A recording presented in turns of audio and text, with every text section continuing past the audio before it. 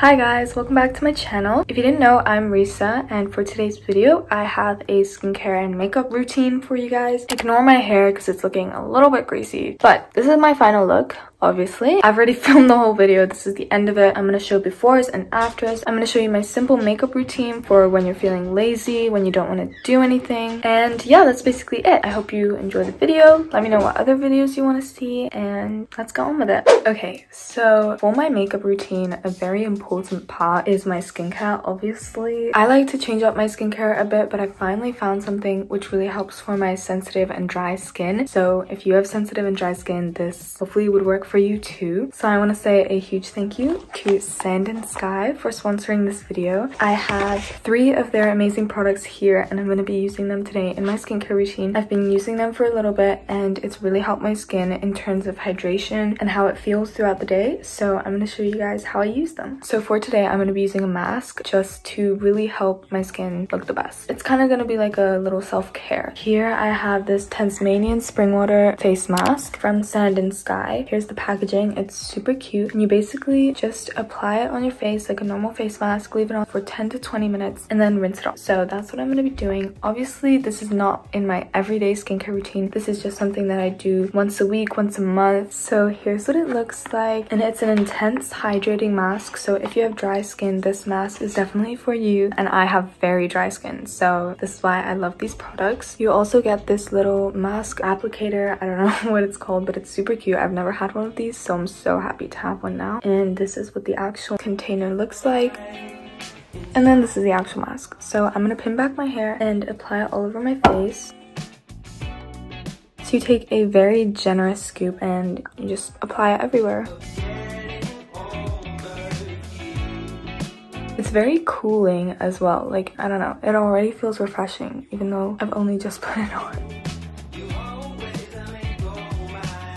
I'm using my camera as a mirror, which is why I can't really see that well, but just trying to apply it everywhere on the skin.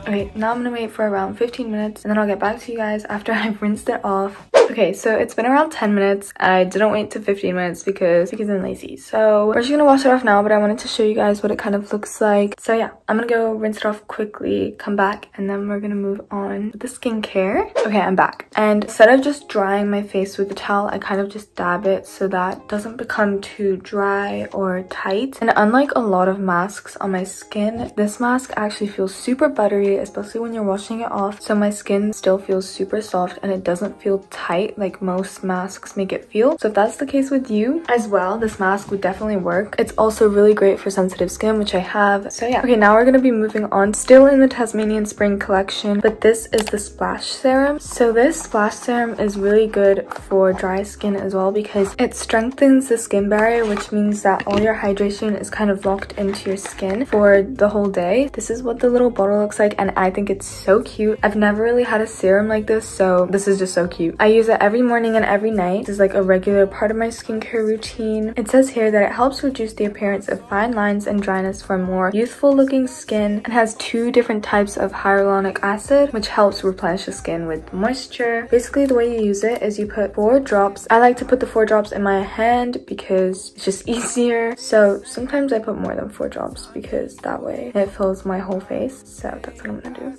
and then I just kind of rub it in my hands like this and just apply it all over my skin. It's super lightweight and just like the mask, as soon as you put it on, it's really cooling. So I really love that. As you can tell, it's already adding lots of moisture to my face. So this is what my skin looks like now. I'm gonna go by the window so that you can see it a bit better. So as you can tell, it's already super hydrating and I haven't even used the moisturizer yet. And it doesn't make my skin feel heavy or like it has lots of product on. It's super lightweight. So now the next thing which I'm gonna be using is kind of the final step with the Tasmanian Spring Water collection and that is the Tasmanian Spring Water Hydration Boost Cream. So this is the moisturizer and this is also specifically for hydrating skin. All this collection is really good for sensitive and dry skin because it locks in your moisture and it's very natural as well so it's really good for sensitive skin. So this is what it looks like. It's super cool.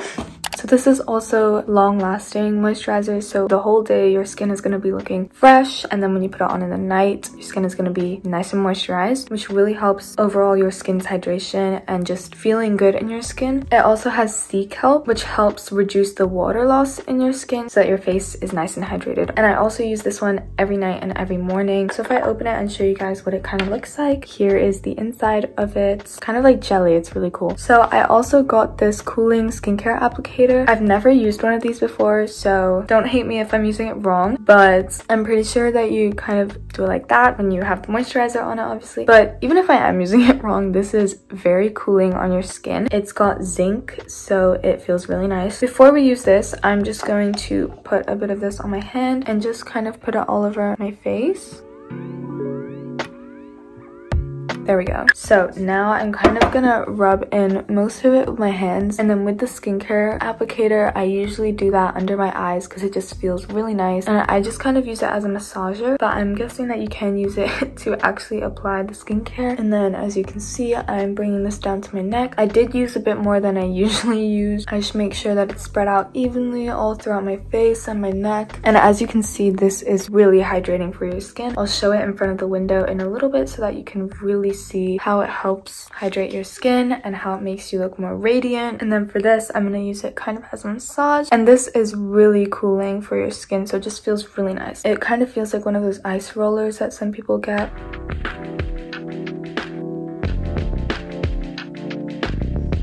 Okay, so now that I've used all this product, I'm going to show you guys the final result. I realized that I didn't really show the before in the same clip, but I'm going to make sure that I show a picture of it, of the before and after, because my skin always looks tired, dull, and in the morning it just feels really tight. But this moisturizer, I'm not even just saying this, it has really helped my skin feel hydrated, and throughout the whole day it feels hydrated, and as you can see, it just makes a huge difference. So I'll show you guys now in front of the window.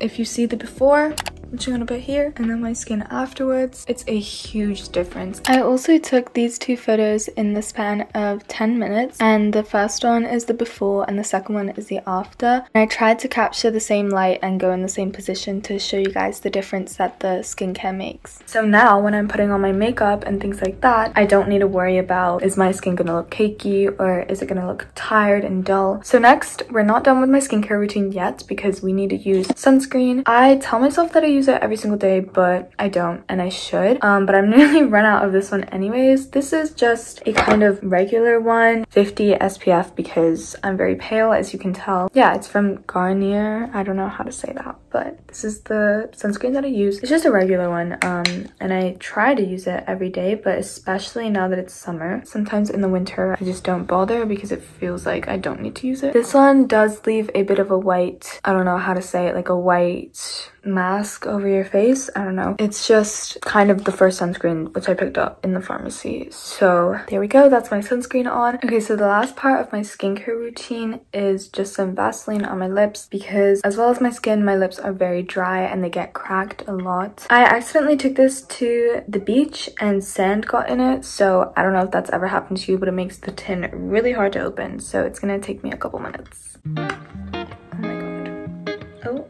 nearly. There we go. Got it open. So I just put Vaseline on my lips. I know that some people put it like all over their face, but there we go. Just simple Vaseline. I also just wanted to say quickly that if I'm not using a mask, I usually use this simple refreshing face wash and the simple brand is really good also for sensitive and dry skin. Everyone's skin is different. Just make sure you find what's good for you. But yeah, that's it for my skincare. And now we're gonna move on to my makeup. I don't use makeup every day, but when I'm going out or going to school, I usually do wear makeup. So this is kind of just what's worked for me. And I use minimal makeup. So if you want like a full face routine, routine. This is not that. This is how to look good on your lazy days, on the days where you don't want to do lots of work. So I also don't really know where a lot of these things are from. So that's gonna be kind of a problem, but it's fine. I don't have a mirror, so I feel like this is gonna be kind of hard. As you can see, I'm in a different setting to my usual setting. I'm actually traveling. So right now I'm in Holland and I'm in the house that like my parents own but rent out. But anyways, yeah, I've kind of just been traveling around Europe. So okay, I know where I got this, but I forgot the name, so I'm gonna put it down below but this is just the concealer I use. I'm actually thinking about getting a different shade. This one I think is just too pale for my skin. It might just be that it's summer, but little too pale for my skin. Oh, I did not know this, but it has caffeine in it apparently. So it's vegan, cruelty free. So I like that about it. And yeah, it's just liquid concealer. And I'm to be using this blush at the same time. This is like kind of a liquid blush. It's like a stick. It's like this, kind of like a glue stick. I use these at the same time and then with my beauty blender, I blend them out at the same time. This is from the same place. There's no writing on it. I think it all like scratched off. Anyways, so I'm gonna start with the blush and we're just gonna be putting a little bit of blush on my cheekbones to kind of lift my face. I used to do kind of that sunburnt look on my nose, but I'm not sure if it really works with my face anymore. Recently when I've tried it, I just don't really like how it looks. So I put blush now like here so that it really lifts my face upwards. And then we're obviously gonna be using this concealer. I use minimal concealer. Sometimes I use too much and it just looks so bad. I think I'm gonna move the camera just so that I can see better. So usually what I do is put some on the inner corner and then on the outer corner I kind of lift it up. And that is all I do. As you can tell, I'm breaking out a little bit. Sometimes I put it on my forehead and my nose, but right now I'm not going to be doing that. So yeah, and as you can see, the moisturizer has really highlighted my nose. So I don't really need concealer there. That's the only concealer I'm going to be using. All right, this is my handy dandy beauty blender. It's not even that old, but it looks really old. I'm going to dampen this. Okay, so we're just going to be blending this like normal. I don't really know how much i have to explain. I've never done a video like this so i just blend upwards because i really like that like facelift kind of look and then i blend in the blush. And it's really subtle as you can tell but it just lifts my face like you can already tell. And i'm gonna be doing this side as well obviously. I don't know why i'm explaining all of this but yeah. Yeah i don't really know what to say so i'm just gonna talk a bit about my holidays. I go back to school later than most people so i still have like summer content in mind and everyone's already doing back to school stuff, which is kind of freaking me out because I'm like, I'm not, I'm not ready for school. I go back in like three weeks. I think American schools go back a bit earlier, so, but I'm still on holiday. I'm obviously in Holland, as I said, and I went to Belgium for one day, just like a stop in between going from France to Holland. If you follow me on Instagram, which is down below, by the way, you would know that I went to Paris first, which was really nice. We used to live there, so it was nice to just see our old apartment and also obviously all the touristy things. And then we road tripped from Paris and arrived here. This place is kind of like my home away from home. It's very comforting to be back here. We're kind of on a relaxed holiday now because Paris was a bit stressful. We were doing a lot of stuff. So yeah. Okay, this is the eyeliner. This is from Wet n Wild, I think. I'll double check. It's very like broken. Like you can see the cap. My dog basically ate it. So that's why it's very like broken. Um, and then I don't have a sharpener since I'm on holiday. So, but we're gonna make it work. We're gonna make it work. Sometimes I use brown eyeshadow because if I want like a more natural look, but today we're just gonna be doing kind of a smudged look, but it's gonna be only in the outer corners. And it just makes my eyes look bigger. But yeah, I'm just gonna put a little bit. This is gonna be hard since I don't have a mirror. I'm gonna be pulling my eyes, so if people don't like that, skip ahead a little bit. I'm just gonna be putting it in the corner. Obviously, everyone already knows that. Everyone looks really weird doing makeup, so just ignore how my face looks right now. There we go. So as you can see, I just do like a little bit like that. I don't really do a huge wing because I don't know how to do that. I don't know how I'm speaking right now. That's kind of impressive. I kind of do the waterline to the middle of my eye. As you can see, it's really subtle, but it just makes my eye look a bit a bit bigger. My eyes, like eyelids, are a bit uneven, so I'm gonna try and make this little tiny wing the same as that one, but it's probably gonna fail. It looks different, but it's fine. Okay, so my eyes look kind of different right now. This one, I feel like it looks darker. It's okay. Usually I do a bit less eyeliner, but also usually I have a mirror, so it's easier to see. Okay, change the angle a little bit so you can see my face better. Finally, we're gonna be curling my lashes. I'm currently sitting on the floor if you couldn't tell already, so that's why my shoulders look a little bit weird right now. Also, why did half of my eyelashes just fall off? There we go. It works pretty well. I don't get how people do their bottom lashes. It doesn't make any sense to me. So we're not going to be doing that. This is my mascara. Pretty sure it's also from Wet n Wild. I literally don't know where this is from. Honestly, there are definitely better mascaras than this. I did not have a lot of money at that time. So I just kind of bought what was cheap. I just blink do this. I, I didn't know that people had like different techniques of doing eyelashes. There we go. That's one side. This side isn't done. So that's the difference. I think it makes a bigger difference off camera.